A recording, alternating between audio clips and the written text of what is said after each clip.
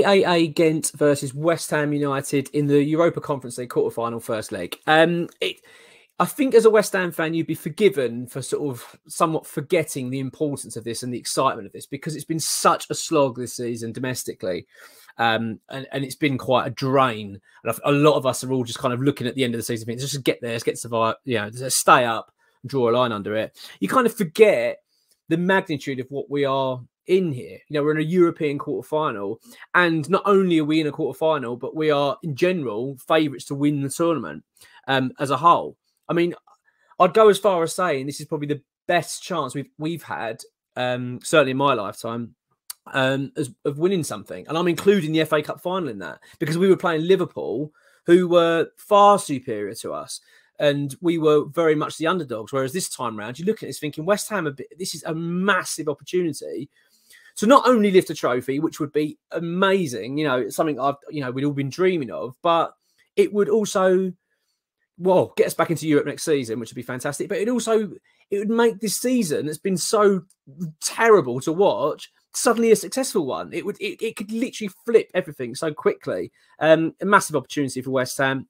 Now, and also it's an opportunity for David Moyes, and that's why I want to talk quickly about David Moyes. I don't want to really go on about it too much, but there is um, some stories now in the in the press, and it's come from the Times. Now, ex-WHU employee hasn't commented on this, so I don't really know much about it.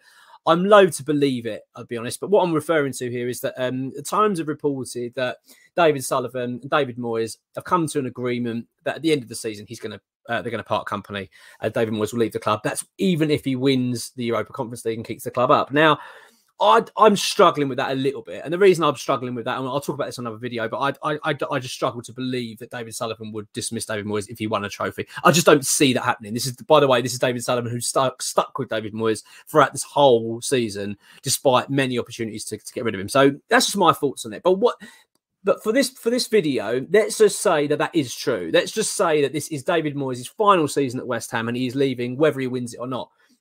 And it's massive for David Moyes because one, he gets a trophy, his first trophy as a manager, but two, then he leaves on a huge high. And the fans would be, I'm sure, would you know, would clap him away from the football club and be delighted, you know, with what he's achieved.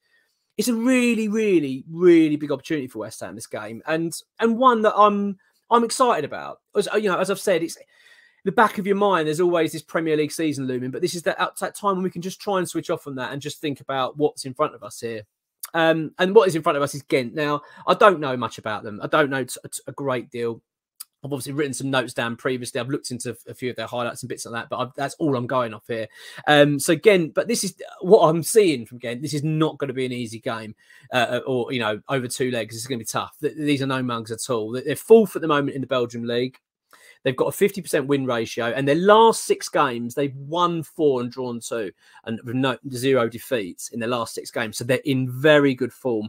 And a, and a couple of those results are very high scoring. I think 6 1 or something like that, 4 0 and things. So this is going to be a tough game and they've got one of their players, Hugo Cuypers, I believe his name is, and he has scored 19 goals. Now, I might have pronounced that horrendously wrong, so if I have, then just please correct me or, or at least forgive me. Um, and he scored 19 goals, he's their main goal scorer of the season. They've got they, they carry a lot of threat. There's also another player called Hong Hyun-seok, who's got five goals and five assists. So look, this is not going to be an easy tie for West Ham, and rightly so, and it shouldn't be. This is a European quarter final. It should not be a walk in the park for West Ham at all. And I, am sure West Ham are not going to go into this with that kind of attitude. David Moyes will be very well aware this is going to be tough. Um, but what is in our favour is the first leg, of course, is away. Um, so if we can get a result there, then you think, well, there we go, we've got one foot in the in the semi final. So it's a big, big opportunity. Um, West Ham, on the other hand, you know, you got, we go into this game our, tails are pretty much up. Well, a, a, tad up, you would say, after the Fulham result. You know, uh, uh, you know, it wasn't the best of performances, but we got the job done.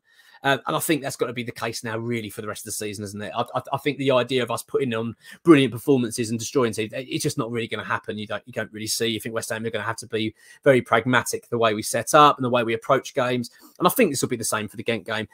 I mean, you've got to say West Ham in Europe this season have been fantastic. It seems to suit us. We play the system works well. I I, I can see us playing well in this game. I think we'll be pretty comfortable.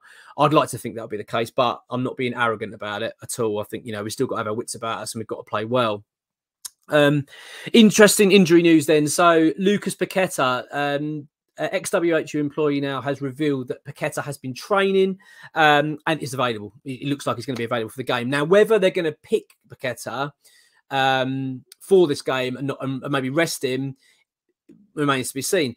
Now, what I'd like to know actually from uh, people that are watching this and fans that watching this is that what would you do in this scenario? Because you know, you people would think, well, you know, Arsenal Sunday, you know, you've got to remember that. But a part of me just thinks, look, when you look at the games left in the Premier League, I'm talking here, Arsenal and Man City, there's a couple of games in there you just think we're, very unlikely to get anything.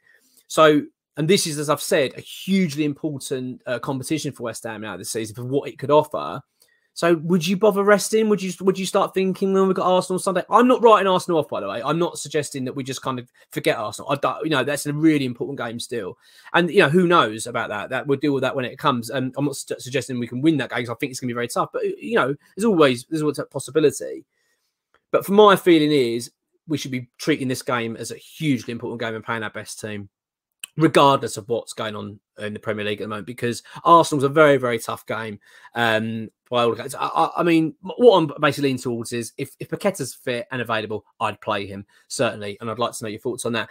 Lucas, um, sorry, uh, Gianluca Scamacca though is out, and it looks like he's going to be out again. The, the, the noises from X has been it's going to be another two weeks another two weeks that we've just had on the pretty much two weeks we've had. So I, I have no idea what's going on there, but it just seems like this a, a, typical West Ham injury, just dragging on and on and on. There's no end in sight for it, which is a bit of a blow.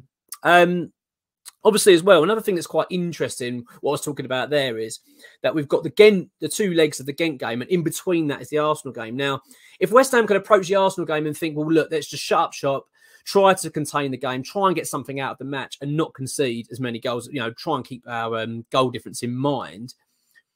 Then, bearing in mind, after the second leg of the Ghent game, we've then got Bournemouth, Liverpool, and Palace all in the space of about six days. They're three games that really could keep us up. If West Ham can get, let's say, six, even maybe seven points from those games, we're pretty much safe. So bear that in mind when you're thinking about the Arsenal game and then their selection for tonight, because I would just go for it. I really think that if we can get one foot in the door, let's get ourselves into that semi final.